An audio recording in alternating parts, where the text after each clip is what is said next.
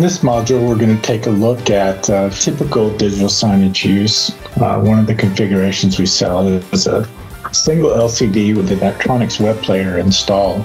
The Daktronics web player installs on an LG WebOS powered display.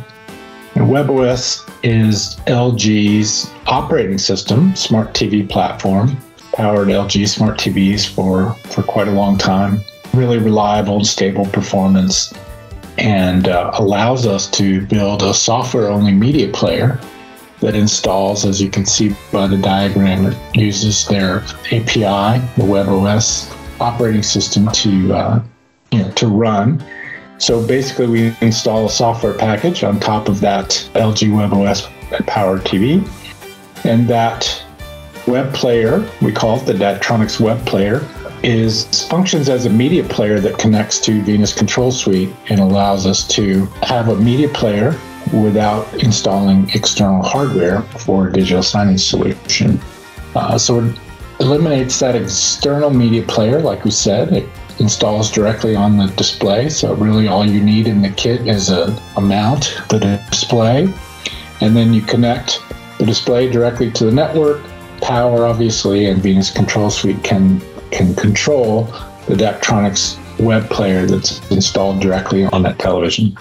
So a few things to know. Uh, sold through Configure One as a, as a solution um, with matching components.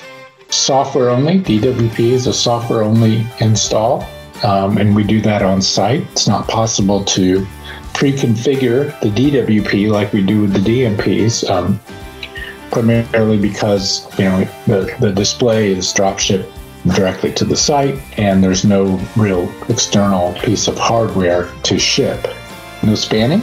Uh, the DWP is a single screen only type uh, install, so each LG WebOS TV or display gets uh, an install of DWP, and, and there's no spanning of, of content across those displays. It activates in VCS through a registration code, uh, very much the same as the DMP does. And as we said, eliminates that external hardware component uh, from the equation. You build content for the DWP in VCS Web Editor, just like you do the DMPs.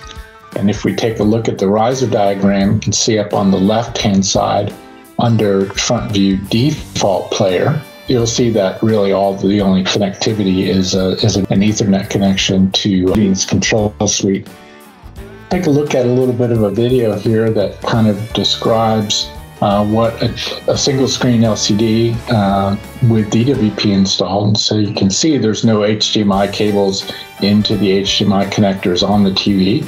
There's only a, a network jack. And in fact, in this video, the RS-232 cable is installed, and you don't even need that uh, in the real system.